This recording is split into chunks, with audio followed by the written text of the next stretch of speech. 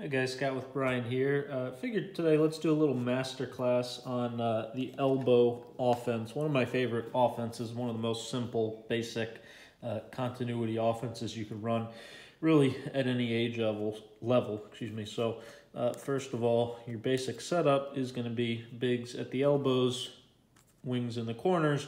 Spots all obviously though interchangeable. You know, bigs can change, wings can be at any spot. You could also occasionally play around with putting you know guards at the elbows or at least one guard at an elbow uh, and have a couple different wrinkles uh, out of that.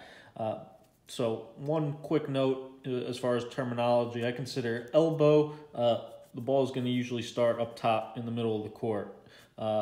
Some people, you know, will call this horns, which is fine because it's similar to that that alignment. But horns to me is going to be uh, playing out of you know pick and roll sets right from here. So going right into you know basic horns where big rolls, other big pops, or horns chest where you dribble off the four and he can flare off the five and so on and so forth. So that's going to be horns. Uh, elbow to me is going to be you know, more of the continuity uh, motion stuff off of starting the ball up top again and hitting uh, a big at the elbow. So the difference between elbow and push or C or the corner set from Rick Adelman uh, is going to be the ball starting almost free throw line extended uh, right here. So just a couple different ways to get into it. You know, you can come obviously right down the middle of the court, or you could really bring it down, you know, on the sideline uh, even with the big basically, and then run this push set right here, which is going to have similar options out of it,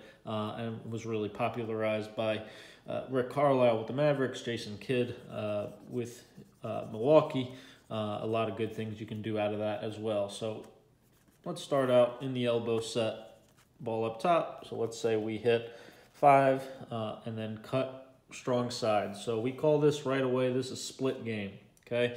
Going basically to play games with, uh, you know, guard to guard in the corner. Okay, split game. So first wrinkle or read out of this, we could tight curl it. So what is a tight curl? Tight curl is right off the screen to the basket, looking for that layup.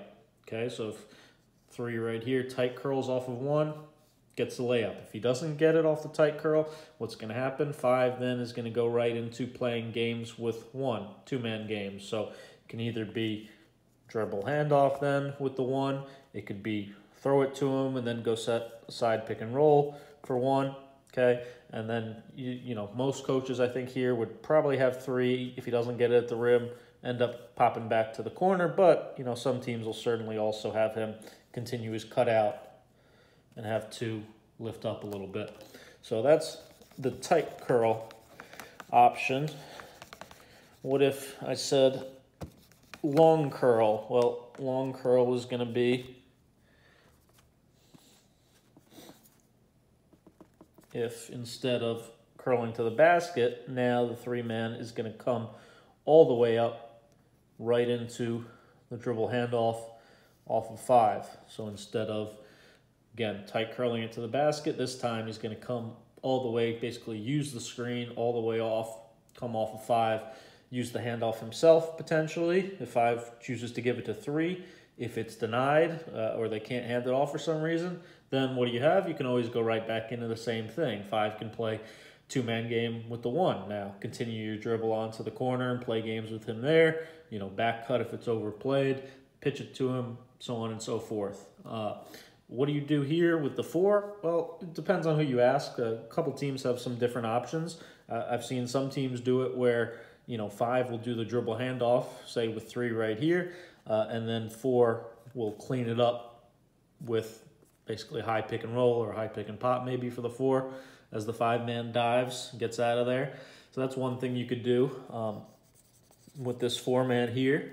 I've also seen some teams, uh, a lot of teams, sorry, that was a terrible four. uh, a lot of teams time it up where at the same time as, say, this dribble handoff, okay? As soon as this dribble handoff makes contact, say with three here, you want to time it up where four goes to wide pin the opposite corner. So that's always an option. If three gets it, you know, he can get a quick look for two right off of this. But most importantly, it's really to try to keep these defenders occupied, uh, you know, on the weak side. Uh, we don't want this defender, four's defender, being able to sit right here, two's defender being able to sit right here. We want them to be worried about what's going on out here, have to drift out, get outside the paint so that, you know, three can potentially turn the corner and get a layup uh, right off of that. So that's, again, the long curl option. So what else can we do? 10 million different things, obviously, out of the elbow, and that's why you know, it can be such an effective offense and it's such a read and react offense. A whole bunch of, you know, just Denver's offense through Jokic is, is stuff like this, um, usually out of the Adelman uh, corner stuff. Uh, you know, Draymond plays out of this a lot, obviously. Um, Stan Van Gundy used to run a ton of this stuff.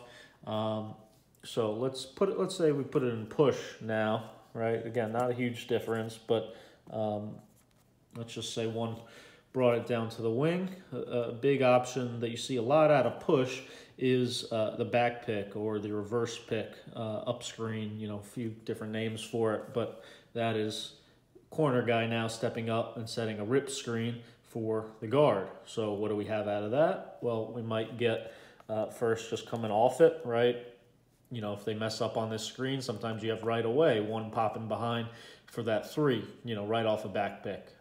Uh, another thing I really like is, you know, you tell three, you set a good screen, there's a good chance you're getting a shot yourself. So three's incentive is to really, you know, hit one's man with a really good back screen right here. And if he does that, a lot of times that's going to cause confusion. Are we are we switching the back pick or, you know, are we fighting through? And that's going to sometimes free up three to then fly off it himself and get, you know, this dribble handoff quickly, maybe for a three, or maybe be able to turn the corner. So uh, you set a good screen, you increase your odds of getting a good shot uh, dramatically. So that's the basic uh, back pick out of that. Back pick is also used a lot against teams that, you know, if you notice that they're switching uh, the split action, as five has it now here, you can have three step up to set a back pick and instead slip it right to the basket. So again, you might have that back door right away. And if you don't, what does it turn into? Again, two-man game uh, with the one, which is pitch it to him, then go sprint into a side pick and roll, or dribble handoff right to him. Again, a lot of different reads uh, and options you can go to out of that. Let's go back to uh, basic elbow right? Another option. This is something the uh, the Warriors run a lot. So let's say we cut strong side, uh, but instead go right into a weak pin down. So we could have this five looking like he's going to look to the strong corner, but instead have this be a decoy. Instead, trying to get three, you know, a quick shot, maybe a quick three, or a quick curl jumper uh, off of that action. So you can always go screen away you can also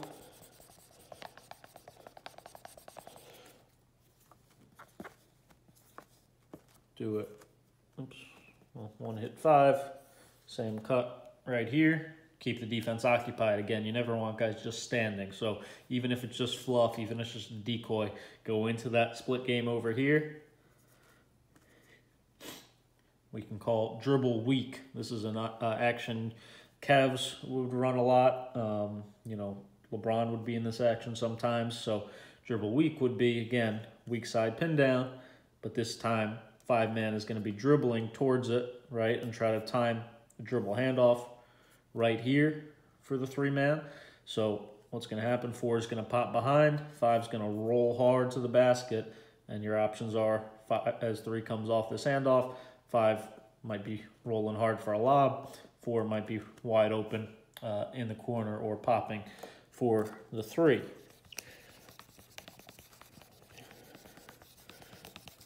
I'll show you a little little trick here. A lot of a lot of trickery in games you can even play out of this.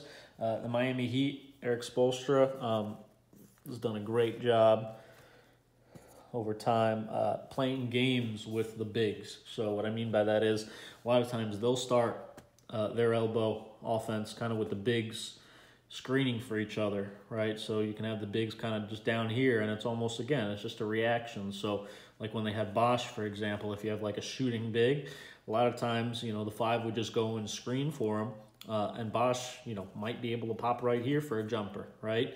Uh, if they mess up this simple screen, might be able to curl it all the way and get a layup out of it. Uh, you know, there's a lot of different things you could do. You know, obviously, you know, you play games out of it. The main goal is also just free up your bigs to be able to get this catch right here pretty easily, right? And then obviously, you know, you're training basketball players. If you come off the screen again and you're unguarded or the defense played this the wrong way or both guys jumped out with four, you might have the dump off pass to five at the basket, right? You might have, again, turn and face jumper right away. So just an easy way to get, you know, an easy two points potentially out of this action by having the bigs uh, play games with each other um, once they eventually get to the elbow. Uh, another thing you could obviously run out of this is flex. So I've seen uh, some teams like to do it middle cut equals flex, or, you know, you can go opposite around the opposite big, uh, but then end up coming back to the strong side uh, and set the flex screen for the corner guy. Uh, and then obviously you're going to want to time that up. So four makes that pass uh, to the opposite big at the same time as the flex screen so that five would be the one making the pass. And then four then is going to continue on, clean up, screen the screener action on the one. Five then is going to hit the one coming off and that's when it's just going to continue on. That three now is setting the flex for two, and then five here is going to pin down on one, and you can turn it over as many times as you want uh, with flex action being very common, obviously, as a, as a movement set, continuity offense. Good thing you can always do just to get defense moving a little bit. You can also go uh,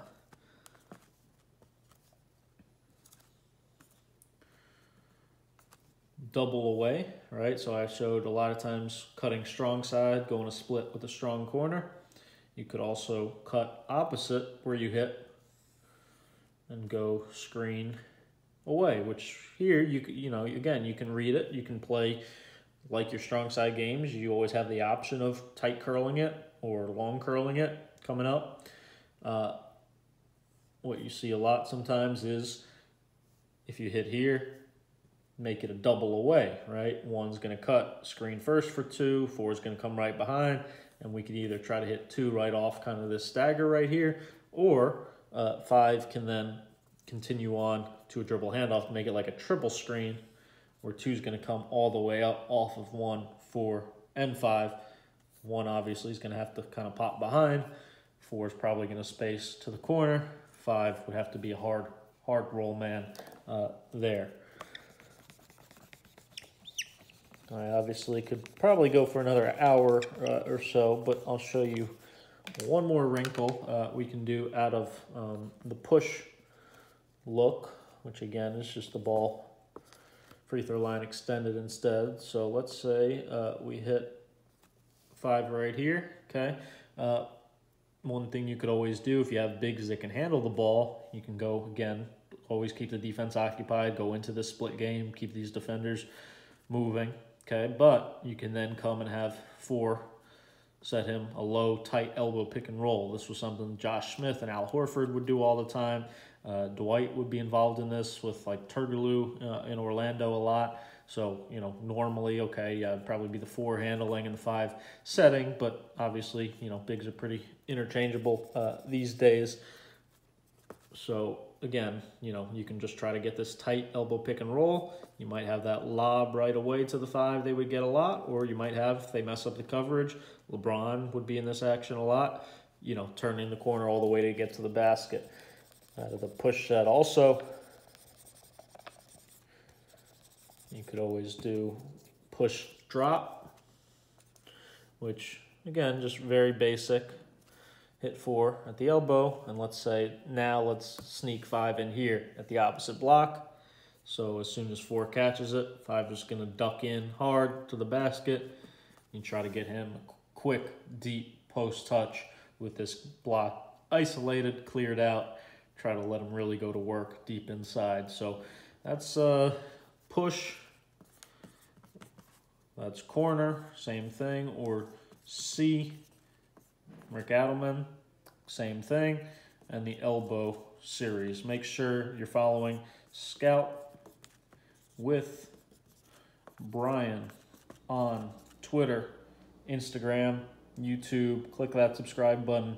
Everywhere you can find uh, Scout with Bryan podcast, you'll find the best basketball content, best analysis. And if you go to Patreon, patreon.com slash Scout with Bryan, you get 15 super in depth bonus videos that all coaches would love, uh, private weekly chats, rankings, extra plays, extra drills, ton more videos like this coming soon for as low as $2 a month. Really appreciate your guys' support, helping keeping me going, and uh, thanks for watching.